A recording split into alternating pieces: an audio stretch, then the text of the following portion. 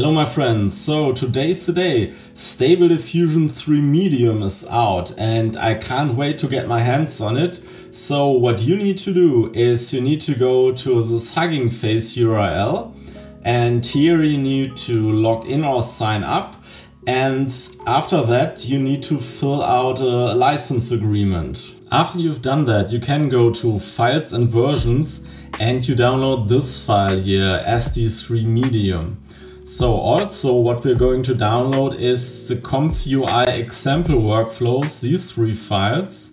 And we are going to download the text encoders, clipg, clipl, and the T5XXL. If you have enough VRAM, you can use this file, but it won't make a big difference. At the moment, Stable Diffusion 3 only runs on ComfyUI or in Stable Swarm UI. So, but since Stable Swarm UI integrates ComfyUI, we will just use Stable Swarm UI.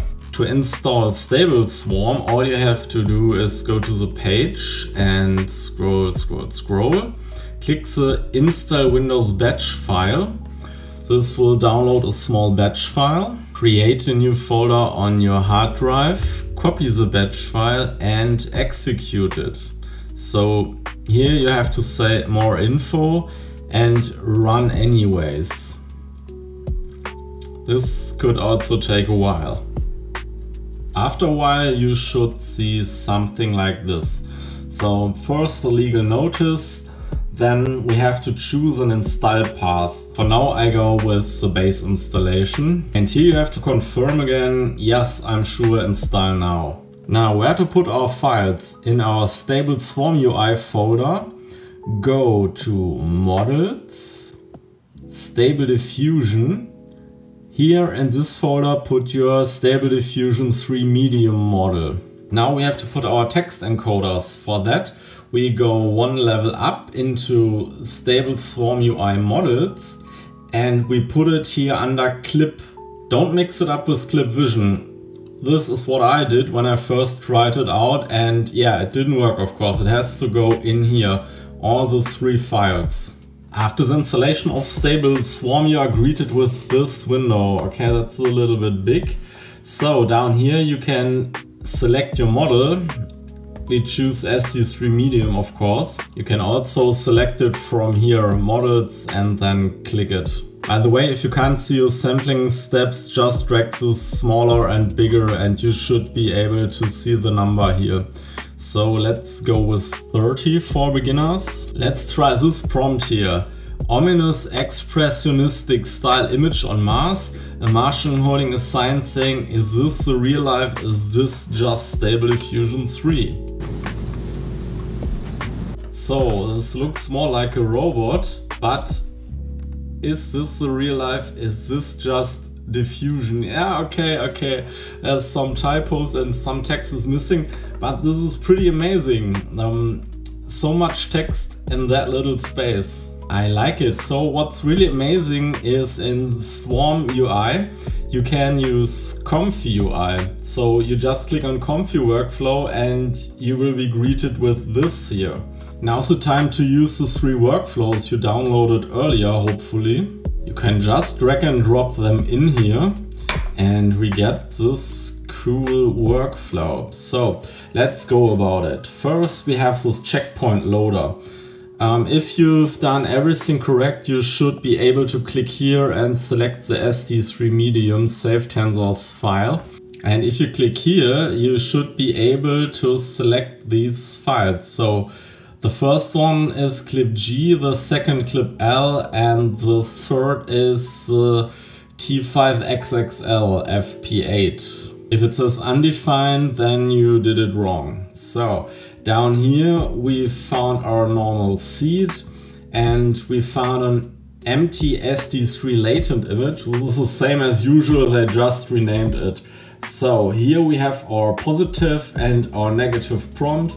Female character with long flowing hair appears out of ethereal thrilling patterns, blah blah blah, and some negative prompts. So what's new to this workflow is this part here.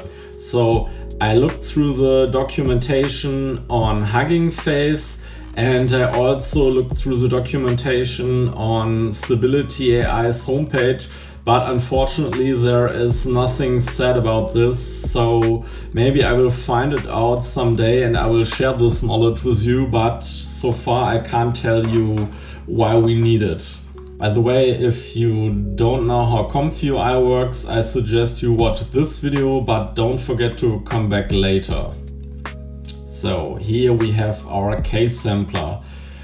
Apparently 28 steps is the suggested best result with a CFG of 4.5. So 4.5 to 6 should be best from what I read. And yeah, so let's leave it as is and let's render it. One cool thing about ComfyUI is you can always follow where the workflow is at the moment. So at the moment it's um, encoding the clips a positive prompt. And it also it can take a while when you render for the first time. So now we're at the KSampler and we can even watch the preview.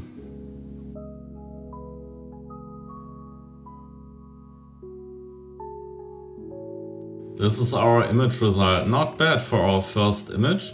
So, but if you want to save the image, make a double click somewhere in a free space and type save, save image and drag the point from the VAE Decode to the image.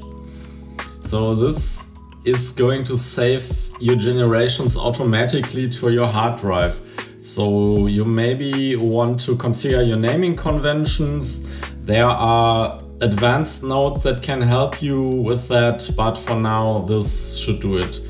Other way to do it is to right click and save image, but that gets tedious if you do a lot of renders. Another amazing workflow to talk about is the multi-prompt workflow. So again, we have our prompts given by Stability AI by the workflows I uploaded and we have here a background prompt and we have a foreground prompt. We have the back, same background prompt twice. So, but let's see the images that gives us. So I increase the batch size to four. And what I realized what's missing here is it has this preview image, but you maybe want to save your image. So I do a double click and type save save image and I drag the VAE Decode node up here. So I mean this file prefix will be ComfyUI, but yeah, I don't care at the moment. So just for rendering purposes and rendering test. Oh, prompt output failed. Checkpoint loader simple. Yeah, we forgot to change our model. So we need to set it to SD3 medium. So these are our result images. So they look great. They look quite different from time to time, from image to image. I really like this one down here. Yeah, I guess we will have to experiment, but you can see with the multi-prompt, it, it seems like you can influence the background like more of a kind of layered rendering, a second exposure kind of rendering. So it's it's really great. So yeah, a lot of things to try out with this new Stable Diffusion version. The first community feedback isn't that great. They're claiming there's a lot of problems with the anatomy of certain things. But to be honest, I keep optimistic. I would say we will just wait for the first community models. So, and while you wait, I suggest you watch this video next.